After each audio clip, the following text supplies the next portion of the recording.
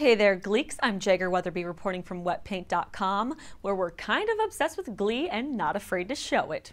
But who isn't, right?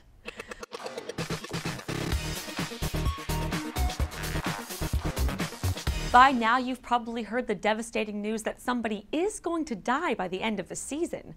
We probably won't find out who the unlucky person is until the dreaded episode airs on Tuesday, May 17th, which is aptly titled Funeral. But that's not going to stop us from spending every free second we have trying to figure it out. Let's start with what we do know. According to TV Line's Michael Ausiello, the oft character is beloved, so that rules out Will's ex-wife Terri. Ausiello also teased that the loss will be unexpected and will rock the world of one of McKinley's own. In other words, the dying character is super tight with a student or teacher at McKinley, although he or she may not be directly affiliated with McKinley. Continuing on with the show sleuthing, Glee's own Matthew Morrison dished to E! Online that it's no one you would probably expect. Last but not least, both Sam and Puck were missing from some on-set funeral photos, but they were present in some season finale pictures, so it's definitely not one of them. Phew. Based on this info, here are our top four suspects.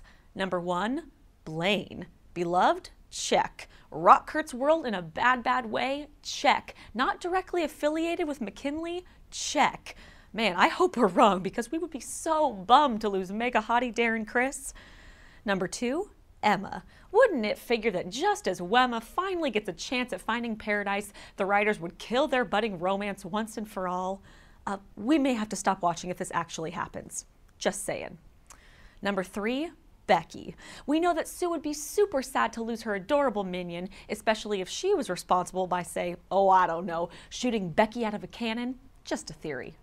Number four, Burt. Kurt's dad of the year is a bit of an obvious choice given his heart attack earlier in the season, which doesn't add up to both Ausiello and Morrison claiming that the death will be unexpected.